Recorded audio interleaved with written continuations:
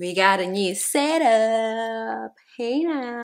Hi everyone. Welcome to Nthabi And Her Books, a channel where I, Nthabi, talk about all my books and all my bookish things. Today, I want to talk about all my bookish goals for the year. So these are my reading goals, my writing goals, and my goals for this channel. Um, I think I just decided this past week that I'm actually going to go all in. I am going to be here. I'm going to be doing this. Um, hence the new setup. I know there's glare in my glasses, but I have bad eyesight. It's my father's fault. So if you have an issue with that, I think you should take it up with him. Um, so we're here. We're going to be talking about my goals for the year because you know what they say in audit, if it's not documented, it's not done. So I need to put it here so that I hold myself accountable. So let's get right into those books. The first book that I want to talk about is Disability Visibility by Alice Wong. This book, per my understanding, is an anthology of stories of disabled people living in the United States. It's a book that I've seen making the rounds, and it's a book that I've wanted to read for quite some time. Um, so, on the back of the book, it says this anthology gives glimpse into the rich complexity of the disabled experience, highlights the passions, talents, and everyday lives of this community. And I think it's it's it's stories that we really need to here and it's stories that I personally really want to read and get into and understand more of. I think sometimes I go off on the grain of assuming that I am inherently somebody who's caring and who who listens to other people's stories but you know that might not always be the case maybe sometimes i need to pick up a book and this one i've been seeing making the rounds so really excited to get into this one the next book is Beauty of the Heart, The Life and Times of Charlotte Manya Maxeke, which is written by Zubeida Jeffer. Jeffer? I think it's Jeffer. Sorry if I'm saying it wrong. Um, and this is a book about a South African woman. So Charlotte, Ma Charlotte Manya Maxeke was the first South African woman to go to university in the USA and get a university degree. She was a political activist, a religious activist. So a lot of her political activism actually started in the church, which I think is quite interesting. Um, she went on to fund the Bantu Women's League, which turned which later progressed into becoming the ANC Women's League. And I think there are very few stories about women like her that I've heard of or that I've read. And I picked this one up last year. My mom actually wanted this copy, so I should probably get her her own copy. I picked this up one last year and I'm really keen on reading it. I started reading it last year, but there was just so much moving and so much going on that I never quite got into it. So really excited to actually get into this, finish this this year, and maybe have a book club with my mom where we just talk about it. But yeah, so The Beauty of the Heart, The Life and Times of Charlotte Manya Maxeke is my second nonfiction book. The third book is 491 Days by Winnie Madikizela Mandela. Um, this book has been on my radar for quite some time. Winnie Mandela was an anti-apartheid activist in South Africa and she passed away, I think, in 2019. And so this book is basically this, this book is all her letters, all her journals that she wrote when she was in prison for 491 days. It starts off when security, when when the, the, the apartheid government came into her house on the 12th of May 1969, and they took her away, and she was in prison for that long.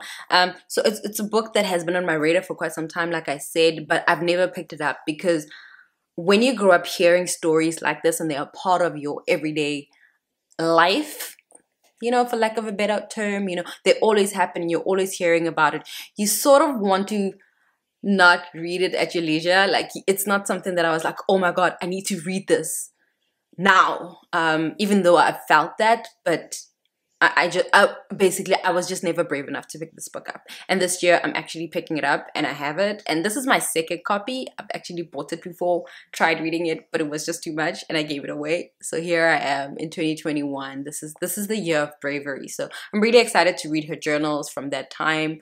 Um yeah, so uh, 491 days, book number three. Moving on to my fiction books. So my fiction books was very hard to keep the list short. Even though it wasn't that, it, I don't have that many books that I want to read this year. I'm not the sort of person who, who reads like 50 books in a year. I can't do that. Last year, I think I managed to read 42 books. And that that is my norm you know? Um my, my goal was to read 24 2 per month and i ended up reading 42 so i think i did pretty good. And this year i my goal is 36 books and the only reason i increased it from 24 is because i want to read more graphic books and more picture books and i want to count them because i don't want to live in a world where those books aren't counted as books because they are books. Um so fiction for me is a genre that I gravitate more towards. Um, uh, nonfiction is, is a bit hard because I feel like sometimes I just want to relax when I read. And nonfiction requires me to have my phone out and Google and make notes and la la la. Sometimes I just want to escape into a great story. So fiction does that for me. So I have a lot more fiction books that I really want to read in 2021, keeping in mind that my reading goal is 36 books. So Without any further delay, let's get into the fiction books. Book number one is Sula by Toni Morrison. So I have never read Sula. It's it's it's one of those books that I think I found out about three years ago. I know Toni Morrison. I've read Toni Morrison, but I've never read Sula. And Sula, when I hear people talking about it, it sounds like it's a book about a non-conventional badass black woman who was doing her thing. And I'm really excited to read that from Toni Morrison. I think the books that I've read from her were just tears. and and, and I'd, I'd love to read something that I'm hoping is a bit more fun. I like to go into books blind, so I'm not actually sure what's in store for me except for the fact that Sula is a character that sounds like a badass, and I love me a badass. Book number two is Intruders by Mohale Mashigo. Mohale Mashigo is a South African author. She's the author of The Yearning, which won a whole lot of awards in South Africa and was a really good book. I I really loved that book, but I really love the ending. There are very few books where I'm like, oh, this ending. But I think The Yearning ended with somebody's feet in water and I don't know why, but I thought that was incredible. It was a great book. I read it, loved it, gave it to my mom, borrowed it to my mom, who never brought it back.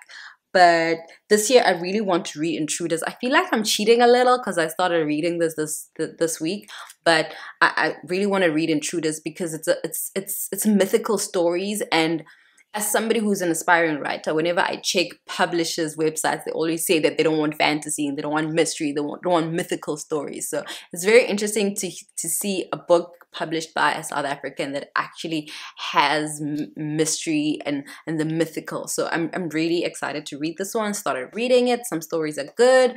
Um, so looking forward to reading this one in 2021 as well. The third book that I want to read is a chunky one. Um, so this is The Count of Monte Cristo by Alexandre Dumas. I don't know a lot about this book, except that I really want to read it. Um, I think the fact that it says the count means it's about a vampire or an accountant or a vampire accountant, which is the crossover we all need. So excited, very excited. Um, I don't know much about this book. I honestly don't even want to pretend. I don't I know anything. I haven't read the cover, I haven't read this, I haven't read the intro, so I know nothing about this book except that it is a book that I really, really, really want to read in 2021. I'm hoping to start getting into it in April because I think March is still going to be pretty busy at work, but once it'll things settle down, I really want to get into this one. The fourth book that I want to read is Kindred by Octavia E. Butler. I have only read one of Octavia E. Butler's books, which is Parable of the Sower, which I loved. I am currently reading Parable of the Talents, which I'm loving, but I'm really taking my time with that one. So I, am really excited to read Kindred. I've heard a lot of good things about this book. I've heard that it's a book that really draws you in. I've heard that it's a book that requires a lot of your, of your attention and I love a book that requires my attention. So I'm really excited about this one. I was so excited to get it that I even got the graphic novel because I'm, I'm here for picture books this year. So so I'm, I'm really, really excited to, to read both of them because I, I, I read both Parable of the Sower graphic novel and the actual book and it was it was a really good experience so i'm really really excited to read both of these The third category of books that I really want to read this year is my rereads for 2021. And first on that list is Beloved by Toni Morrison. I read this book when I was at university and I really enjoyed the book. I remember thinking it was dark, it was painful, and it was exactly what I needed. So I want to go into it to see what else I can get from this book this year. Last year, I read The Bluest Eye again, and it made me cry. Even though the first time I read that book, I didn't cry, but last year I actually cried. So I'm really, really excited to reread this book this year. The second book, which I talked about in my video about my top favorite books of 2020, is Giovanni's Room by James Baldwin. I read this book last year. I loved it. It was my favorite Baldwin that I read last year, and I really want to reread this one, highlight it, make a notes, just make this physical copy my own. So I'm really excited to reread this one again. The next book, which isn't going to be a surprise if you watched my last video, is Heavy by Kiese Laymon. I will be rereading Heavy this year. I, I read it last year and I remember as soon as I finished it, I really wanted to just be like, okay, page one, let's go. But I decided to let it, to let it settle in me and find its place. And, and now it's it's not even a year later, but I really do want to reread this one. I think I'm actually going to start rereading it this week because it, it was really a good book and I want to see what other gems I can uncover five months, six months later after reading it. So those are the books that I really want to read in 2021.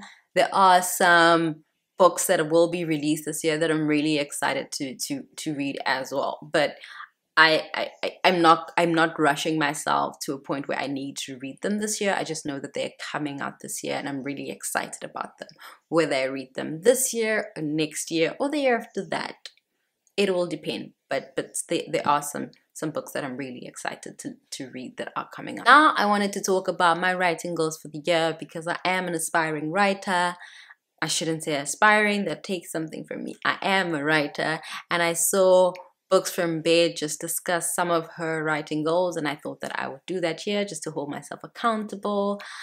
So I would really love to finish a short story anthology in 2021. I've written a lot of short stories over the years and I and I can't remember how many I finished, but I know that it wasn't enough. Well, by my standards, it wasn't enough. And I think this year will be the year that I actually get that done and I actually produce something that is a complete body of work. I would also love to keep reviewing books on my blog. I'm finding that the more I push myself to review, the more I read books with a different type of lens, and that is a lens that I actually quite quite like. You know, I, I I'm not reading books just so I can say I read a book and I finished the book. I'm reading a book to take something from the book. So I I would really love to keep blogging about books, keep reading about books. If you have any interesting book blogs that you love and would like me to check out, please let me know. Um, I would really love to read more, review more, and write my reviews up more because there is something different that happens when I force myself to think about a book in that way. And I really think that's an interesting part of my brain that I would really love to tap into.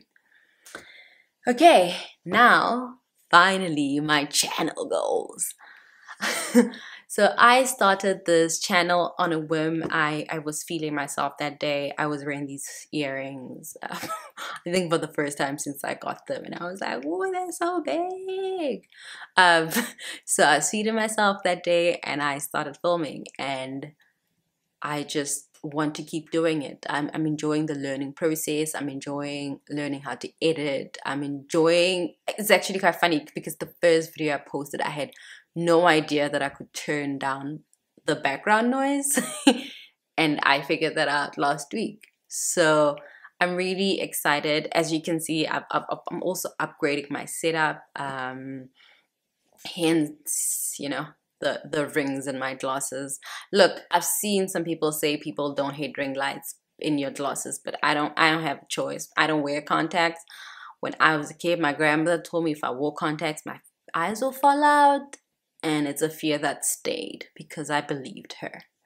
Um, so I weight losses. It is what it is. I'm getting distracted. My channel goals. I would love to post two videos per week because I'm really excited about learning how to edit and I think posting two videos a week will force me to learn how to edit at a quicker pace. I want to get more comfortable in front of the camera and I think posting two videos per week will allow me to do that. And as far as growth and numbers and everything else, I don't know. I think I'm enjoying this right now and I'm just going to run off that because there are very few times when I found myself really enjoying something. And when I do find myself enjoying something, I don't want to be the kind of person who picks at it with a fine tooth comb and scrutinizes it. So I'm just really excited to be here, really excited to make content, really excited to be more creative. So those are my channel goals, just to be more creative, just to push two videos out every single week and and just see where my life goes from there. Um, so we'll see how that goes. So those are my 2021 bookish goals. Thank you for subscribing. Thank you for commenting. Thank you for liking. I will catch you in my next video on Wednesday. As always, remember to be kinder than you think is necessary. Bye.